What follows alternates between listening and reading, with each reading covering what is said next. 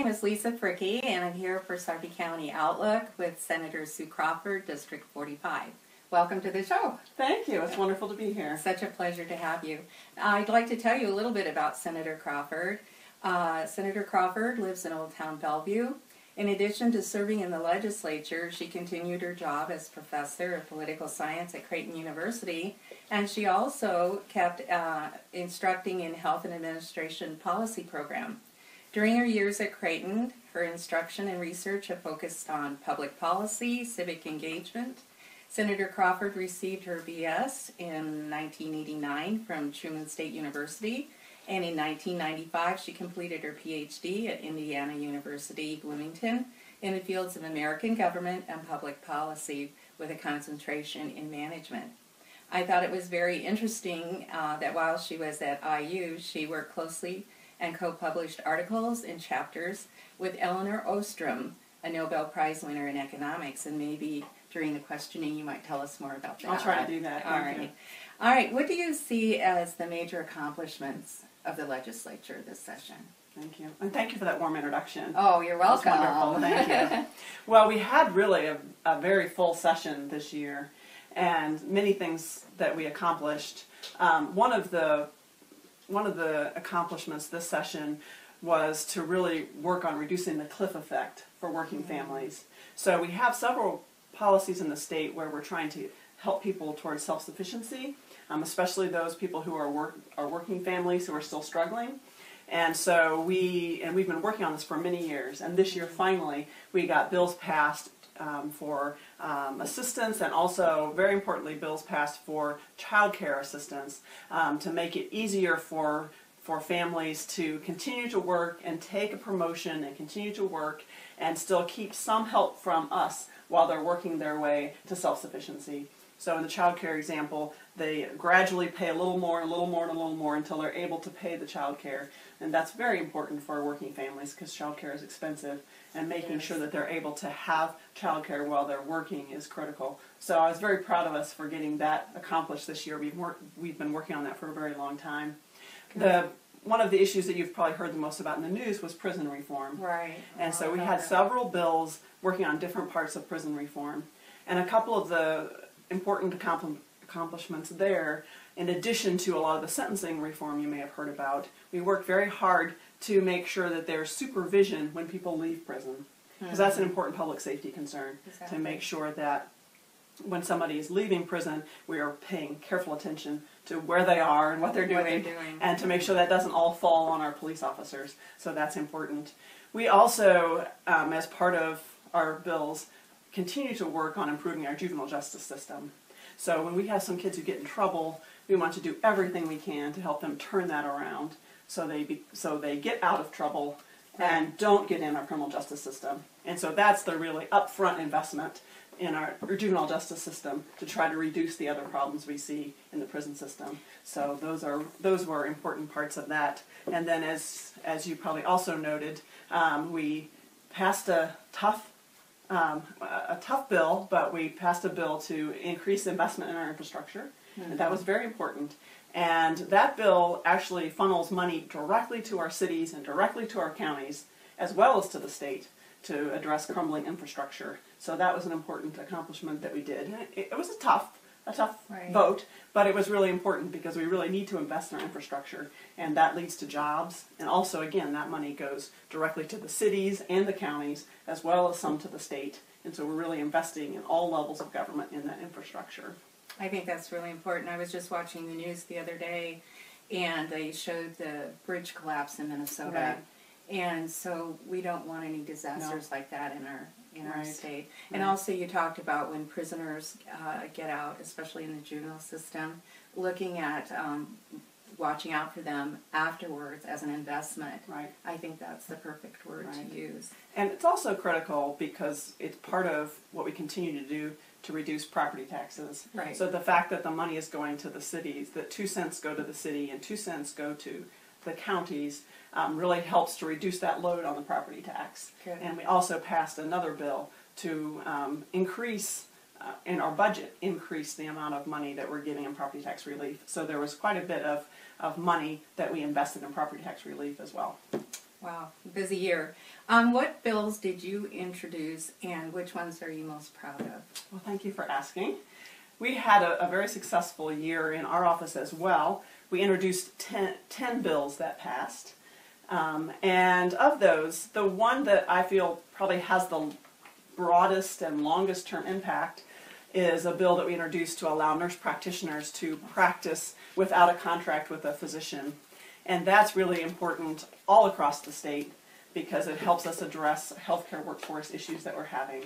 And that, I think, just really imp- improves access to healthcare across the state. Mm-hmm. And it also allows these uh, nurse practitioners who are licensed and credentialed to get out there and provide health care. And so it's also an important business opportunity for many of those people who are nurse practitioners across the state.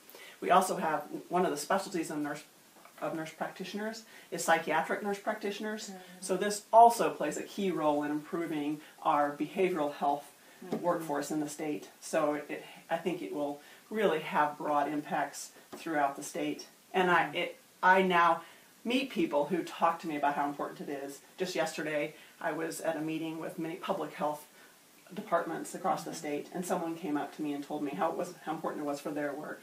So that's very exciting. Um, one of the bills that I'm proud of, in terms of families and especially families in my own district, is a bill that creates custody protections for divorced military members who were deployed. And we did that in a way that makes sure that our custody protections in our state are similar to custody protections in other states. So as those military members go from state to state, there's some continuity there. And as the JAG officers are working with families, that they under are it's easier for them to understand the Nebraska protections. So that makes sure that um, there's a framework that judges use um, and protects a military member from having deployment used against them in custody because we don't want that to happen. And also creates a framework for arrangements to be made for the child to see their extended family when the military member is deployed. And we had um, a guard member come in and talk about how difficult it was when she was deployed because um, her estranged husband didn't let the kids see the grandkids and their, you know, siblings, step siblings. So, you know, we ask a lot of military members, and so it's important that we're thinking as a state how to take care of their families. And I think this was so I'm very proud of that effort to make sure we're taking care of those families and taking care of those kids when the military members are deployed. I think the military needs to be, you know, um, taken care of because Mhm. of uh, everything that they have done for us. You know, they sacrifice so much, and I think sometimes we take that for granted. Right. So, what do you see as the priorities for next year? So one of the issues that we have not yet been able to tackle successfully is to accept the federal money that's available for expanding our healthcare system. So we are giving up millions of dollars um, that we've paid um, in our taxes to the federal government that we could be using to get over 50,000 more Nebraskans access to health healthcare. And that continues to be a top priority. And um, we're working on that again for next year. We have a great coalition of Democrats and Republicans who are working together on that in the interim here to try to come up with a plan that we can bring everybody behind, or at least a majority, Yeah. a, a filibuster-proof majority, veto-proof majority behind this idea to really um, provide that kind of access in our state. It, it's not just um, important for those families that don't have health insurance. Obviously, that's critically important. That by itself should be enough to move in this direction. But it also has really important implications in terms of public safety. Because one of the things we found in the states that have expanded Medicaid is that then they're able to make sure that as people leave prison, they're able to continue their mental health treatment, mm. continue their prescriptions, and you reduce recidivism by making sure you're taking care of people's mental health needs. And that has turned into great cost savings in many of the states. So it's just an additional reason why it's important we move on this issue. I, I agree with you totally. What you, one of the things you said was that Republicans and Democrats are working together during the interim, and that's what needs to be done everywhere. Right. But what seems to be the the point that the opposition says about not you know, renewing or Mm-hmm. getting the Medicaid into our state. Why, what's the main reason they, I mean, it's our money that we Right. paid in, Right. and just like continuing mental health after they're Right. out of prison, what is their objection? So they, one of the concerns that is raised is the concern about sustainability. So the, it is the case that the federal dollars um, gradually decline. They end up then being where the federal government pays 90% and we pay 10%. So we want to make sure that we're attentive to ensuring that we can pay our part as it continues in future years. So um, we've been working hard t- to provide analysis to allow senators to understand what that looks like so that they can understand that, that, that there are other savings that come in that make it sustainable. So the money that you save in all these other areas helps make it easier to pay that 10% eventually. And so just trying to, you do that analysis and show them what that looks like over time so that they can feel comfortable that it is a sustainable investment. Okay. And the other issue that we are trying to show them is you have to also think about there still are costs if you don't do it. And one of the real challenging parts of political debate is helping people understand the cost of doing nothing. Oh Right? my, yes. So yes, there is a cost to um, to our part that we pay, but you have to look at the cost of doing nothing. You still have uncompensated care. You have people returning to prison. You have all of these costs that are out there if you do nothing. So the question is, how do the how does the cost of creating this wonderful opportunity in our state compare to the cost of doing nothing? Nothing, and And I think people will see it's a worthwhile investment. And what I love about um, what you said is earlier you used the word investment. So many times people look at this as a cost without looking at something as an investment where you get a return that's Mhm. positive. Mhm. And I think that's what we need to do as a state. Um, as a legislator, what happens between now and the beginning of the next session?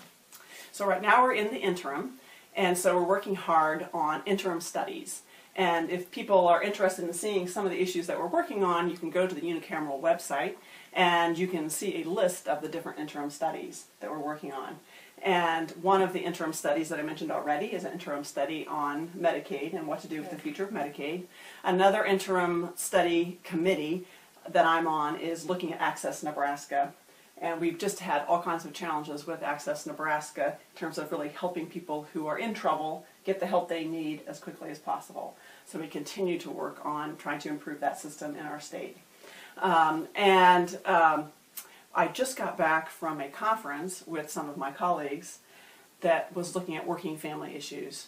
And so we're working hard to see what we need to do to help our working families get the training they need and connect to the jobs to help them get into higher wage jobs. Um, because we and we have many businesses that are needing workers and wanting Right. workers. So just to help us see what do we need to do as a state to better connect people to jobs to make sure that we're both growing the state and getting people the wages that they need to be successful. So those are all studies that we're looking at. Our office is also has an interim study on paid family leave.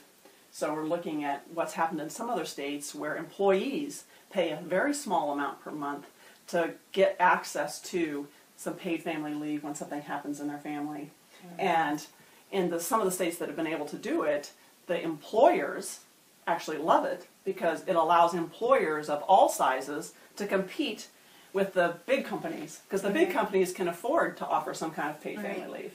Um, but so if there's a state infrastructure there to help paid family leave, then it allows small businesses to be able to allow their employers employees to take time off when they need um, and, and compete for quali- quality talent um, against the, the big folks who can Oh. afford paid family leave. All right.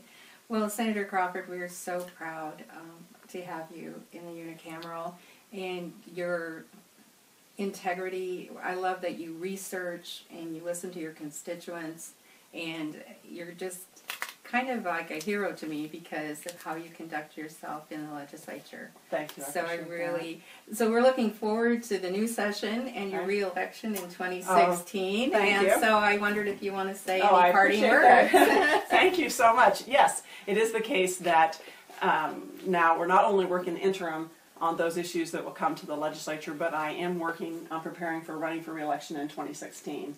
And we do have a campaign website that people can visit, and they can see opportunities to get involved and little, learn a little bit more about the campaign side of what I'm doing. So I appreciate that very much, and I thank you for your support Oh, and you're help. very 'cause welcome. I can only be there doing that work if I have people who are supporting me. And I really appreciate your support and the support of Sarpy County Democrats that's made it possible for me to serve the state. And um, Senator Crawford brings up a good point. We have candidates that want to represent you in different areas of the state, uh, as far as from state school board to the, the Senate, any election. They can't do it alone. It costs money. They need our help. So please, if you want to elect someone who would be a good representative for you, please get involved and volunteer. The website will be shown on the screen. And thank you for tuning, tuning in to Sarpy County. Appreciate it. Thank you. Thank you.